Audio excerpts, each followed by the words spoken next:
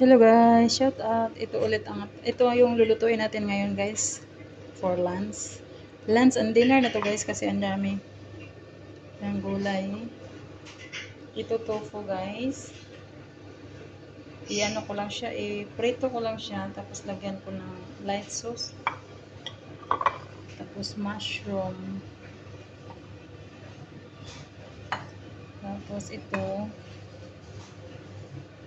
broccoli and carrots. Ayan guys, ang daming gulay guys. Ito ay lotus. Igigisa ko siya guys. Wala tayong sabaw ngayon kasi wala tayong gagawing sabaw. Tapos ito, igisa lang ng ilang minuto. Half cook lang yan.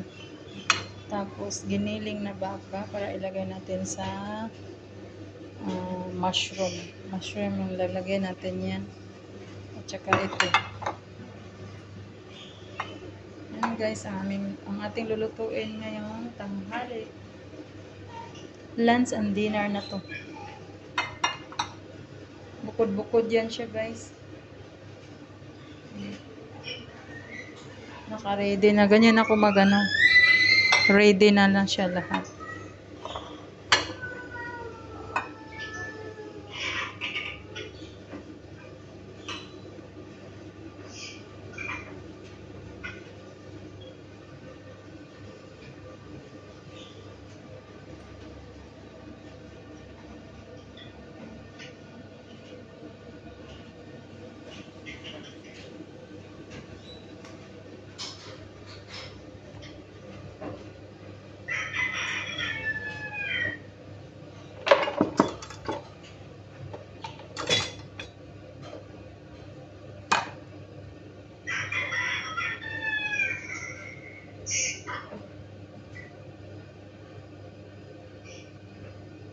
Ready to cook.